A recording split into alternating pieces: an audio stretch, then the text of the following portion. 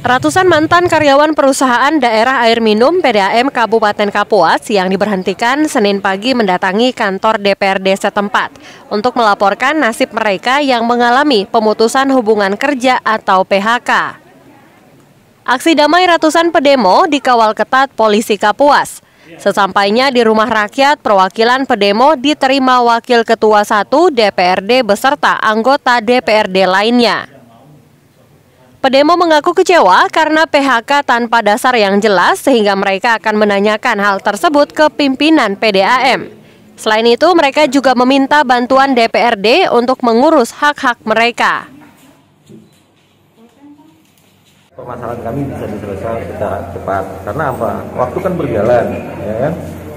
Dengan adanya statement ini kami nggak tahu nasib kami itu digaji apa enggak lagi bulan ke depan. Yeah. Nah itu aja yang, yang kami minta tadi. Ya harapannya bisa membantu kami semaksimal mungkin dengan secepatnya maksimal agar apa hak-hak kami itu dikembalikan.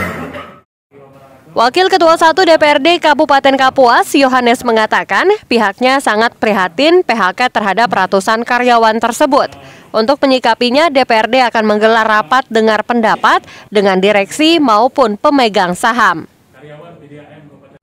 Kami sudah melakukan pertemuan tadi. Seperti disampaikan oleh perwakilan karyawan yang dinonaktifkan karena kami belum mengerti juga duduk permasalahannya.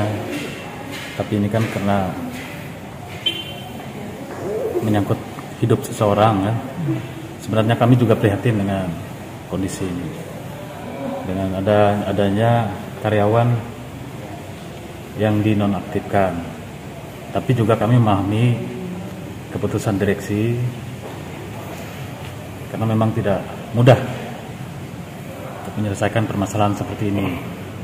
Karena pilihannya harus menonaktifkan karyawan. Kami akan menyikapinya nanti mungkin mengadakan rapat dengar pendapat dengan direksi dan pemegang saham. Pada Jumat lalu, PDAM Kabupaten Kapuas mengumumkan hanya 146 dari 400 karyawan yang tetap dipertahankan bekerja. Dari kota Kuala Kapuas, Ririn Binti dan Alihwan melaporkan. Untuk gaji ya, untuk gaji bulan September